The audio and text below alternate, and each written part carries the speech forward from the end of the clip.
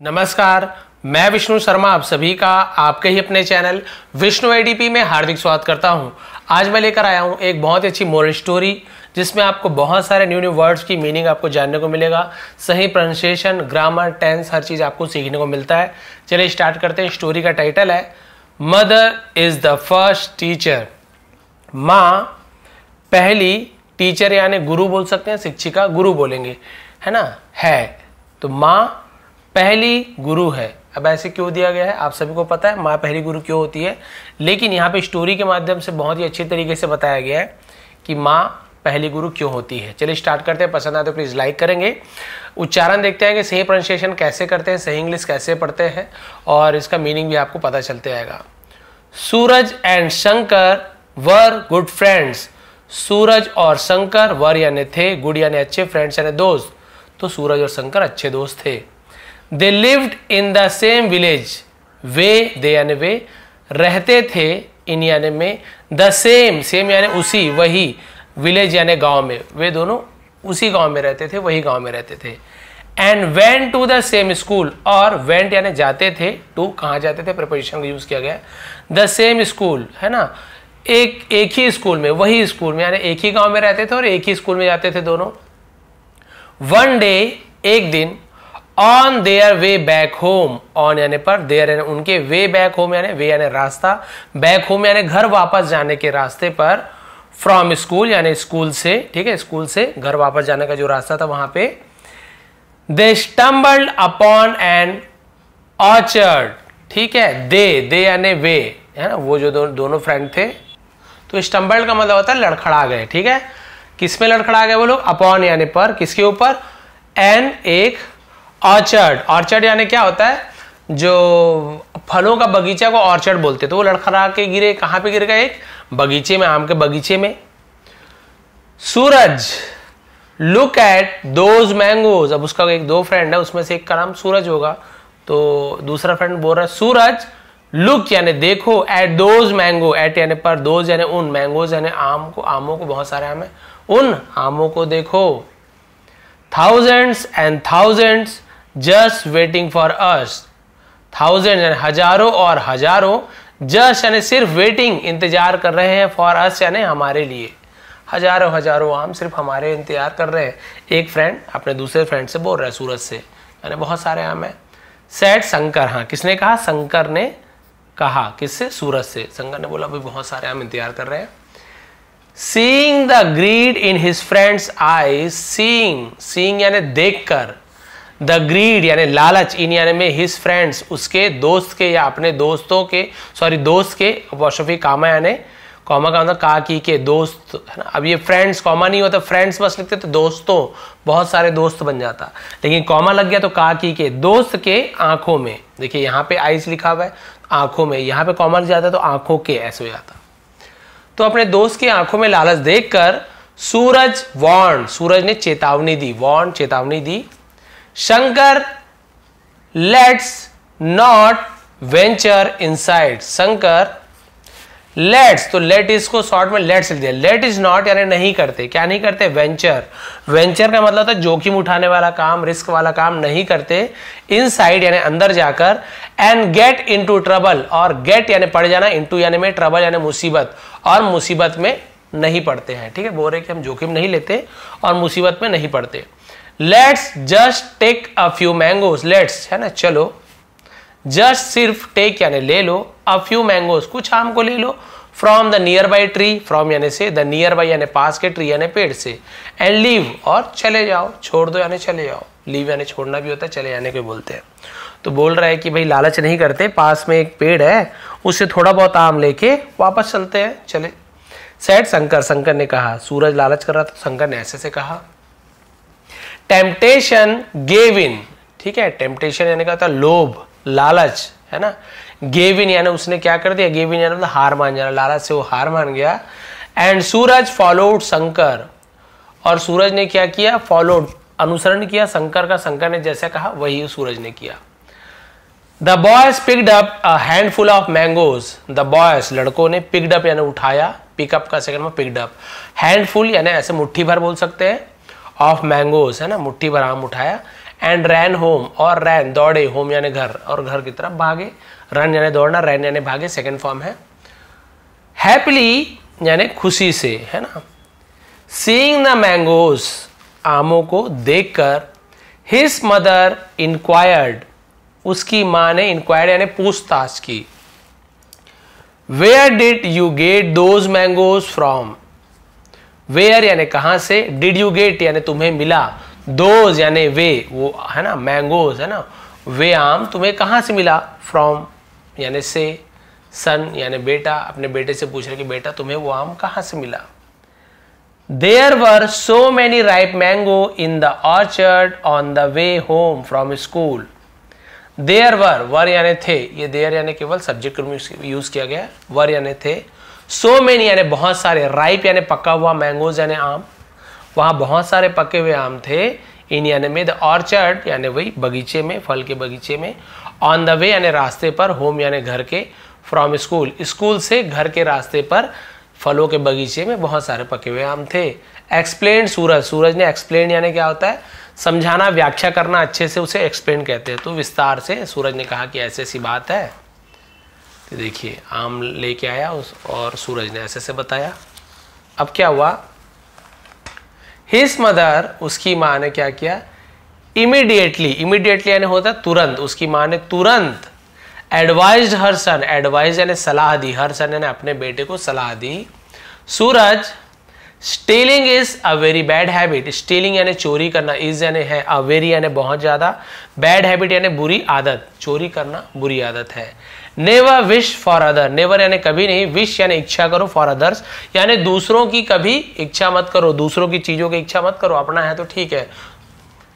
Think sorry things again things other things यानी दूसरों की चीज़ों को अगेन यानी फिर से दूसरों की चीज़ों को पाने की इच्छा मत करो। शी सैड कामली उसने सैड यानी कहा। कामली यानी होता है, बहुत ही शांति से प्यार से, है ना? बहुत ही शांति से कहा। सूरज फेल्ट बैड है ना? सूरज को फेल्ट यानी लगा, एहसास हुआ बैड यानी बुरा लगा। And promise never to steal again और प्रोमिस्ड यानी हम क्या बोलते हैं? वादा किया। नेवर यानी कभी नहीं टू स्टील चोरी करने की अगेन यानी फिर से, और कभी दोबारा चोरी नहीं करने की उसने वादा किया। बैक होम है ना? और घर वापस। बैक होम यानी वापस घर में क्या हुआ? Shankar was welcome by his mother Shankar was क्या किया गया? वेलकम यानी शंकर का स्वागत किया गया बाय हिज मदर उसकी माँ के द्वारा शंकर का स्वागत हुआ घर वापसी पर। सूरज को तो उसकी माँ ने मना कर दिया कि कभी ऐसे नहीं करना। अब शंकर घर आया तो उसकी माँ ने क्या कहा? देखिए who saw her son who यानी जिसने, कौन भी होता है, जिसने भी होता है, जो भी होता है ना, जिसने देखा हर सन अपने बेटे को रिटर्निंग लौटते हुए with a handful of mangoes है ना, एक मुट्ठी भरा हुआ आमों के साथ, है ना, उसे झोला, थैला भरा हुआ, हैंडफुल मुट्ठी भरा हुआ, ऐसे यूज़ करते हैं। लौटते हुए देखा where did you get those mangoes from where यानी कहाँ से डिड यू गेट यानी तुम्हें मिला दोज यानी वे मैंगोज यानी आम फ्रॉम यानी से, है ना, वे आम तुम्हें कहाँ से मिला? दोज यानी उन आमों को तुम्हें कहाँ से मिला? कहाँ से प्राप्त किया उन आमों को? सी आजगड उसने पूछा। अब शंकर की माँ पूछ रही है, उसकी माँ ने तो मना कर दिया, सूरज की माँ ने। शंकर की माँ ने पूछा तो क्या हुआ देखिए? When Shankar told her about the orchard जब शंकर ने टोल्ड यानी कहा टेल यानी कहना, उसी का सेकंड टोल्ड होता है।